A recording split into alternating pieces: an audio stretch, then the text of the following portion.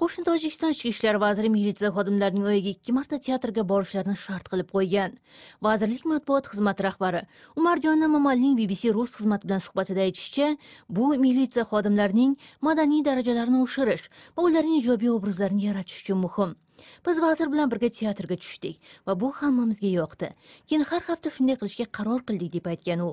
Muxbirimiz anora sarkorovaning xabar berishicha militsiya xodimlari endi har dam olish kunlarida teatrga tushadi qiymati aqsh dollarida birdan uch dollargacha tushuvchi chipta pulini ham ular o'zlarining yonlaridan to'lashlari kerak bo'ladi. Tojikiston ichki ishlar vazirligi bildirishidan ma'lum bo'lishicha militsiya xodimlari teatrga o'z oila a'zolarini ham taklif etishlari mumkin bo'ladi. Ammo bu ularning o'z ixtiyorlaridagi ish bo'ladi. Lekin vazirlik militsiya xodimlarining aynan qaysi teatr va qanaqangi spektakllarga tushishlari tafsilotlarini berishdan bosh tortgan. Faqat sahnalashtirilgan pyesalarning vatanga muhabbat va vatanparvarlik ruhida bo'lishi shartligini aytgan.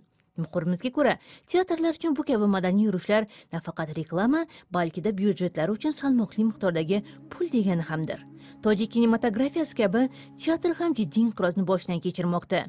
Eng so'ngida ta'kidlash joiz bu tojikiston ichki ishlar vazirligining ilk bor shunga o'xshash g'aroyib taklif bilan chiqishi emas. Vazirlik yil boshida agar o'z ishlarini yo'qotmay deyishsa og'ir vaznlikdan azob chekuvchi militsiya xodimlarining oz ishlarini ham shart qilib qo'ygandi.